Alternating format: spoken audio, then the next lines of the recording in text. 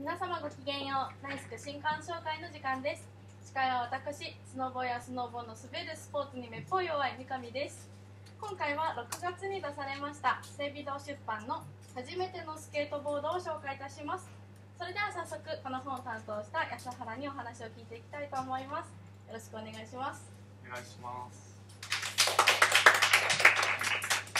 はいじゃあ初めにこの本はどんな経緯でどんな人に向けて出された本になりますか？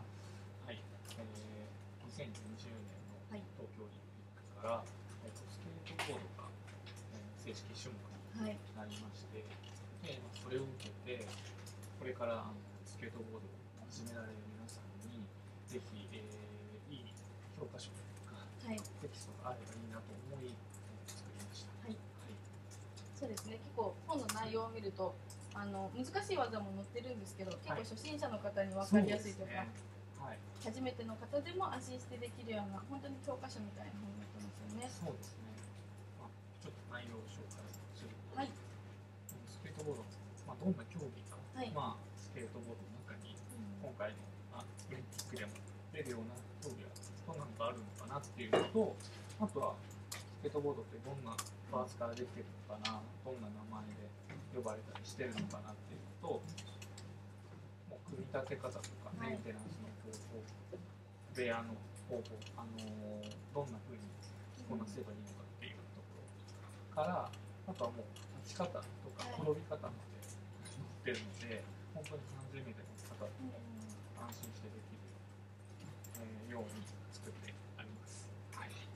結構このこの本に特徴だなと思ったのがこの技の紹介の時にこう連続写真がいっぱい載ってますよね。そうですね。連続写真であの動きがはい。本当に分かりやすいしてあります。はい。ありがとうございます。で最後にとこの連続写真で結構たくさん載っていて撮影が結構大変だったんじゃないかなと思うんですけど苦労したところを教えてくださいあのー基本的にはい。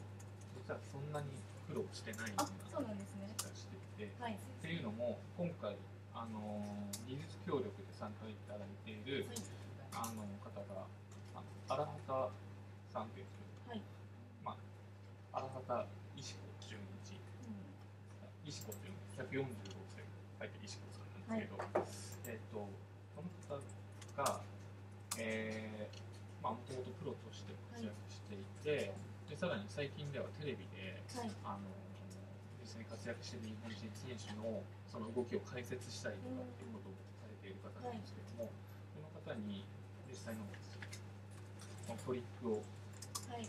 まあ、モデルとしてもこう動いてやっていただいてそれがほとんど一発であそうなんですね。一発で決めてくれる方だったので、まあ、もちろんその初心者にとってはこんな見え方がいいだろうとか、うんまあ、写真的にあこう見えてた方がいいねっていうので、まあ、撮り直したところもあったんですけども動きとしてはほぼもう完璧にやっていただいたので、さすがあの本当に実際にプレイしている方であれば納得いくだろうっていうような写真になっておりますので初心者の方もぜひ参考にしてみてください。はい、ありがとうございます。